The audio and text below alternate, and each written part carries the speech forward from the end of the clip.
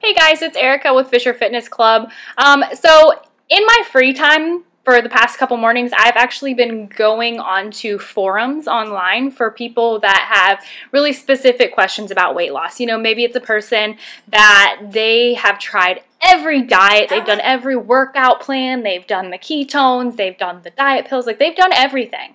And it's not working for them. They're still not reaching their weight loss goals. And so I go on these forums and I help give them more specific answers um, to their specific questions. So not something generic like we sometimes see um, online. So I try to help people out on the forums. And, and it's interesting because what I actually thought would be the number one reason why women aren't losing weight isn't what the reality was. Um, you know, I thought I was going to hear a lot of people that have like really bad diets, really bad sweet addictions, um, you know, just overeating, pizza and junk food and everything. And, and I thought that was going to be the biggest problem was that women had trouble controlling their cravings. But it was actually just the opposite. Um, so many women are actually under eating.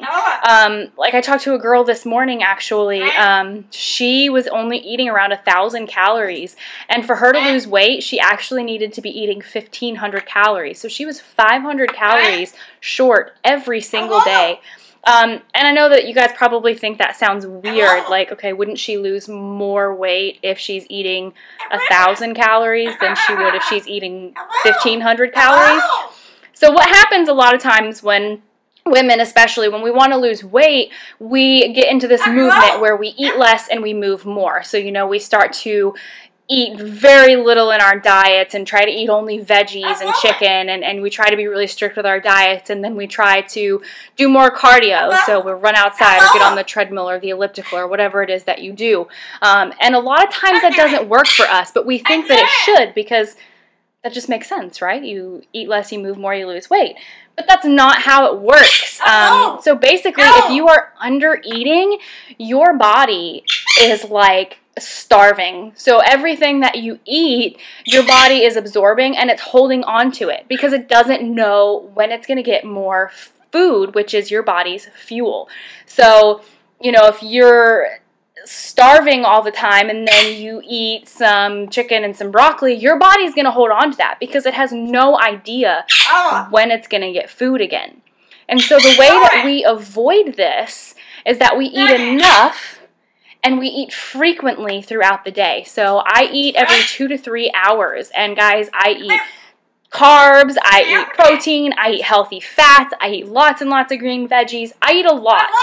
I actually eat usually around 1,800 calories a day, and I have abs. I, you know, I'm able to lose weight. I'm not gaining weight, um, and it's working for me. And it's because I'm eating enough for my body that my body doesn't feel the need to hold on to everything I eat because it knows that I'm going to get more fuel in just a couple hours, and it gets on that regular basis, and it knows that every single day I'm going to be eating every two to three hours. So my body doesn't hold on to anything; it uses it as fuel, and I have have more energy throughout the day.